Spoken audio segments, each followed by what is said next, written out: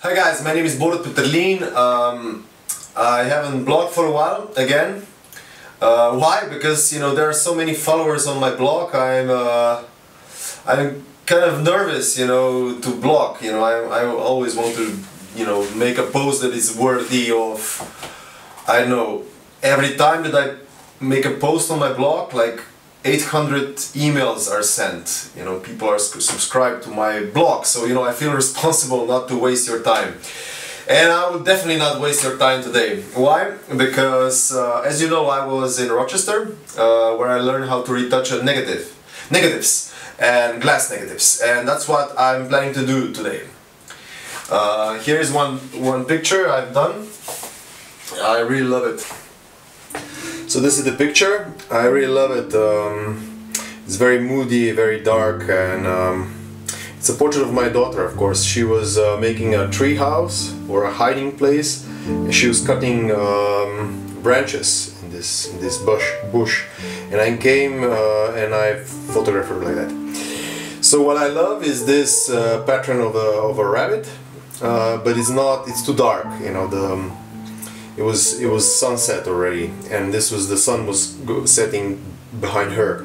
So she was facing east um, so uh, that's why so my plan is that I will retouch uh, this um, rabbit and I will retouch these contours here to be a little bit more come out a little bit more. So as you see this one this rabbit we will come uh, we will bring it out and these contours I will make them a little bit stronger and maybe also the scissors. I will make them to come stand out a little bit more. And that's it. Uh, whereas with the second negative I will just make the face a little bit better. So the eyes will be seen a little bit more. And that's about it. You know what that is? You know the song of Rolling Stones, uh, Brown Sugar? That's actually what they were singing about. Uh, it's a gum arabic. Uh, Paul McCartney was a huge fan of um, gum printing, and um, so they made a song about um, brown sugar or gum arabic. But I'm using it uh, to make a glue. So, you know, a little bit of gum arabic, uh, glycerin, and a little bit of water, and you have a glue and uh, for this purpose I could use whatever uh, glue I wanted but I want to have um, a glue that is water solvent and organic and archival and so on. So I use uh, gum arabic and now I'm uh, gluing tracing paper on the back of the plate. So not the collodion side but the other side the back.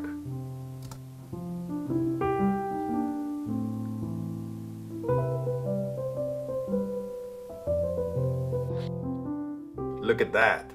This is a magic kit that I got uh, George Eastman house at the workshop of uh, retouching how to retouch negatives. Mark Osterman made this kit and it's a magic box. I'm using uh, just ordinary uh, graphic pen uh, to and I'm now I'm drawing on the back of the plate so on the tracing paper I'm adding density basically I'm adding the parts that I want to be, that want on the, on the final print to become brighter Oh, I hope that Mark Osterman is not watching this video because, you know, he used to be a mentor also for drawing and my drawing capabilities are like five-year-olds. Okay, I now I turn the negative. I'm looking at the collodion side. I take a uh, like it's a powder made of fish bone, uh, and now I'm scratching the varnish, or just a little bit of scratching, so it gets the tooth. Uh, so with a graphic pen, I can add uh, graph graphite on on the on the top of the on the top of the varnish and now I'm uh, adding um, graphite uh, but I'm doing this with uh, as you see it with um, small dots. Not with a with like drawing but with dots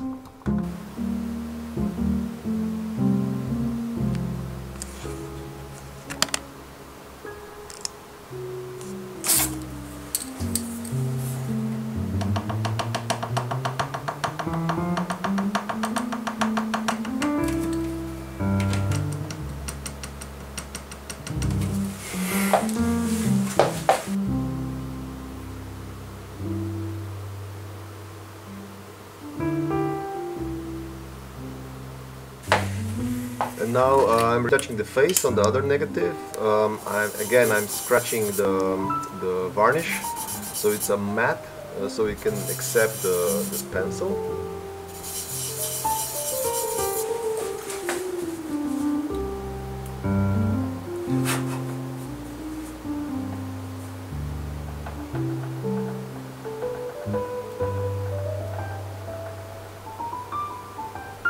What a masterpiece, huh? No, actually, as you see it, I'm just adding the graphite where the, um, uh, adding the density where the picture was already, I'm just adding a little bit more uh, graphite um, to get uh, the face a little bit brighter.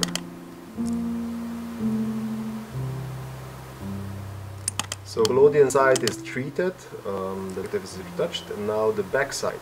I want to create a layer which will um, you know, make another, uh, will add a little bit more density on the face.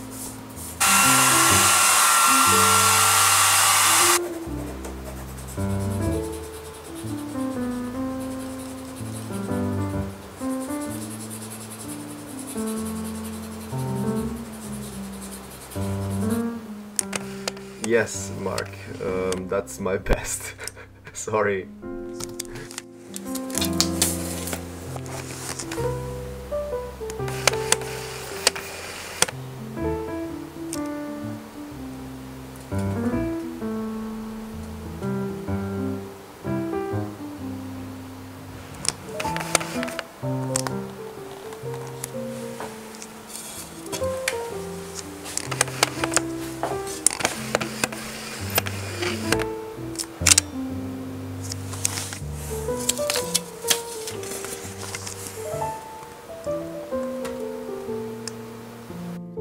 Okay, let's do some albumen prints. First of all, uh, this is already salted and beaten um, albumen uh, in a tray. And first step is to remove all the all the bubbles. Um, these bubbles can really make your life difficult. So you know, it's worth to take a couple of minutes and do that properly.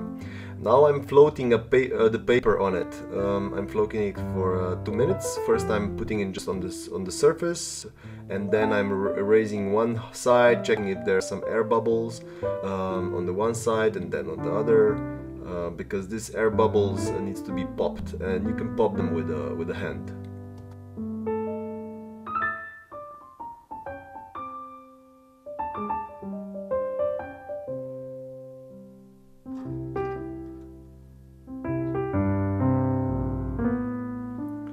After two minutes on floating, floating on uh, albumen, um, I put them to dry.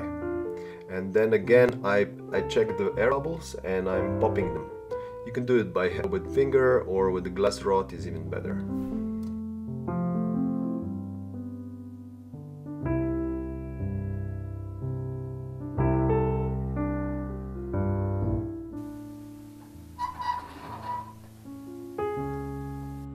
Albumen paper dries, uh, which is fairly soon, uh, it's time for sensibilization. Um, now again I will float it on uh, silver, silver nitrate, but the catch is that this solution is 20%, uh, uh, so it's really really expensive solution.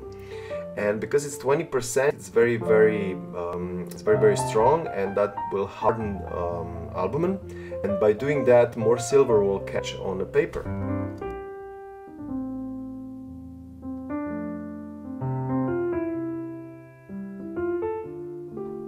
When paper sensitized, please dry it uh, under, on, with cold airflow. Never use hair dryer. For albumen, you can use uh, hot air, but, but uh, when it's sensitized, don't use um, hot air because it will yellow.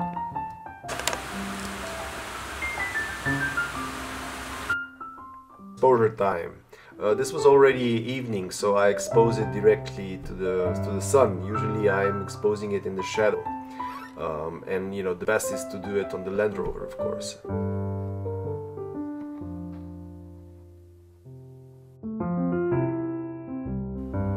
Um, I print slowly. Uh, usually my exposure time is around one hour. I find a shadow that it's like uh, dark enough so you know my, my negative is print for one hour. With that I get better contrast, deeper blacks, better tonality.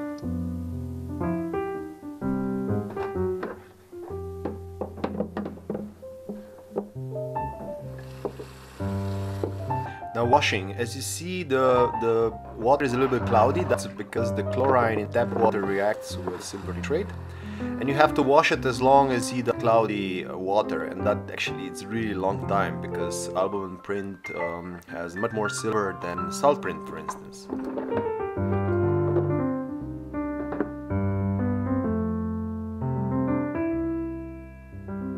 And now toning with gold, um, you have to tone it because uh, gold uh, albumen print is really like earthly kind of brown, uh, so that's why with toning you get like deeper blacks and proper black and white, or let's say brown and white, um, to that to tonal scale. Last but not least, uh, fixing with sodium thiosulfate, 15% solution for 5 minutes. And then it's washing for 15 minutes with um, agitation. So this is where we started and this is uh, the result.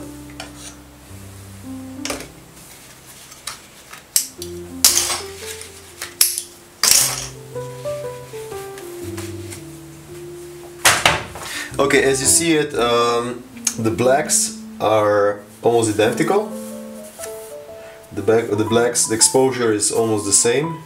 If you look the corner here and the corner there is almost the same.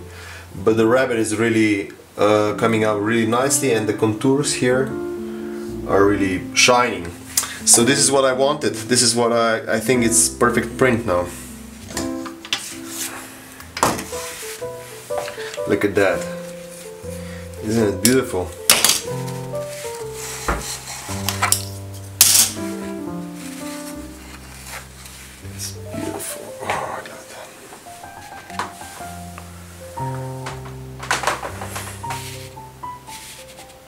What a lovely pair, isn't it?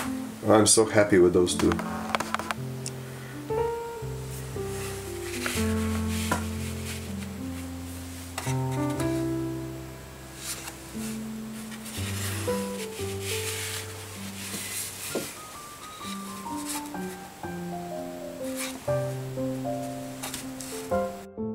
If you would look with the loupe and you would know what to look for, you will actually see the, the trace of my pencil.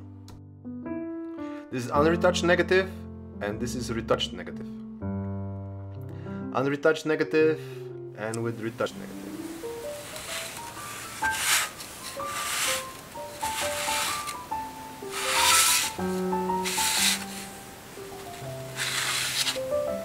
I love that particular shine of uh, albumen paper.